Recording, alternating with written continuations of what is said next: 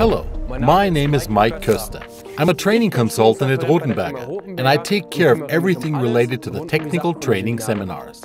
Today, I will show you the Roleak Pro leak detection device. The Roleak Pro is the electronic leak detection device from Rothenberger with A2 certification.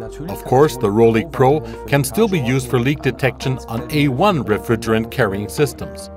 The device is switched on and off via the button in the middle. When the device is switched on, it needs a so-called warm-up or pre-run time. During this time, the heating diode in the 45 centimeter long and flexible tube of the device is warmed up and the device calibrates itself to the current oxygen content in the air.